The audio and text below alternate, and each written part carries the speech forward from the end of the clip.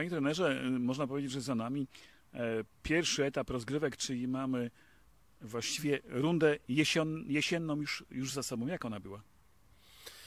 No ja mogę akurat e, powiedzieć o tej pod moją wodzą, bo, bo wcześniej Szymon prowadził e, zespół i też na pewno i miał i dobre momenty, tak jak początek i później gdzieś ten zespół nie miał takiego rytmu i też konsekwencją tego były cztery porażki z rzędu.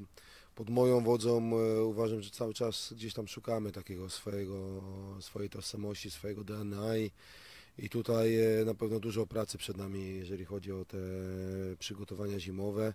No przede wszystkim chcemy się skupić na tych ostatnich meczach, na, na tym, żeby zdobyć jak najwięcej e, punktów, a, a tak naprawdę no, bilans e, cztery porażki, trzy zwycięstwa, także no, na pewno chciałoby się więcej tych punktów. Na pewno można powiedzieć, że byliśmy taką drużyną bezkompromisową, czyli albo wygrywaliśmy, albo przegrywaliśmy. Można powiedzieć, że jeszcze się e, runda, właściwie runda jesienna się skończyła, a już się zaczyna bo przed nami dwa kolejne mecze. Będą to mecze już z rundy rewanżowej. E, na początek zespół Olimpii Elbląg, bardzo mocny zespół, pierwsza szóstka.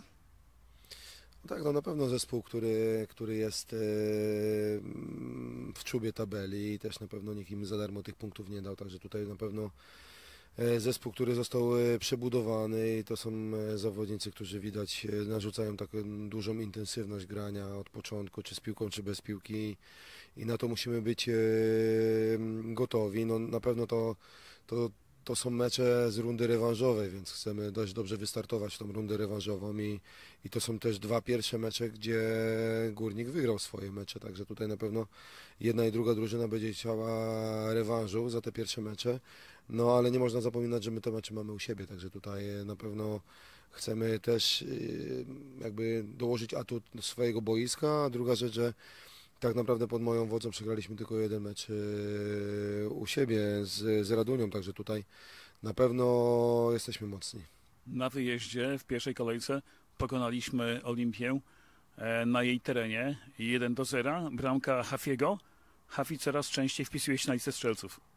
No tak, Hafi strzela, strzela bramki, ważne bramki, tak jak ta ostatnio na 2-1 z Garbarnią. No to jest zawodnik, który mając piłkę przy nodze naprawdę może zrobić różnicę i ma naprawdę jakość piłkarską. No problem na pewno Javiego jest, jeżeli chodzi jakby taki, taką dyscyplinę taktyczną. No, ja spróbuję nad, nad tym popracować zimą. No, na pewno teraz nie ma czasu na, na to, ale zawodnik, który robi różnicę i który strzela bramki, dlatego też y, no, nie ma co się dziwić, że że stawiamy na Javiego. No Javi strzelił do tej pory 7 bramek, także jest liderem naszych strzelców i nawet ta ostatnia sytuacja, która którą wykorzystał błąd bramkarza, no ale też ten błąd bramkarza sprowokował. E, to nie każdy zawodnik by poszedł, e, można powiedzieć, gdzieś tam w takiej sytuacji do, do rozwiązania do góry sam. No to jest zawodnik na pewno, na pewno, który nam e, daje dużo i mam nadzieję, że da jeszcze więcej. Ale piłkarze Olimpii nie mają takiego bramkarza, który popełnia kuriozalne błędy. No nie, z Andrzejem pracowałem rok czasu i Andrzeja znam bardzo dobrze. Uważam, że to jeden z lepszych bramkarzy drugoligowych i też może nie dysponuje super wzrostem, ale, ale no, jego cały czas ta sprawność fizyczna pozwala mu na to, że w tym wieku gra na, na poziomie centralnym i tutaj na pewno też my musimy dołożyć starań, żeby od razu go gdzieś przetestować od pierwszych minut.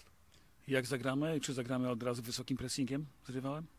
Na pewno zagramy odważnie. To, to też te mecze, mm, które zagraliśmy odważnie u siebie, czy z Zagłębiem, czy, czy ostatnio z Garbarnią, te pierwsze minuty, pierwsze połowy należały pod, pod nasze dyktando i tutaj też tą intensywnością, tą agresywnością bez piłki stwarzaliśmy sobie sytuację w tej ostatniej strefie u góry, także na pewno wyjdziemy odważnie i Olimpia też na to musi być przygotowana.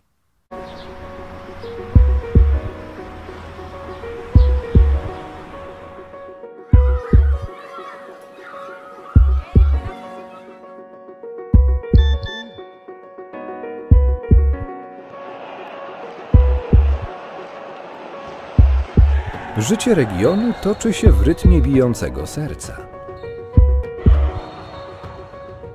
Gmina Polkowice. Serce Zagłębia Miedziowego.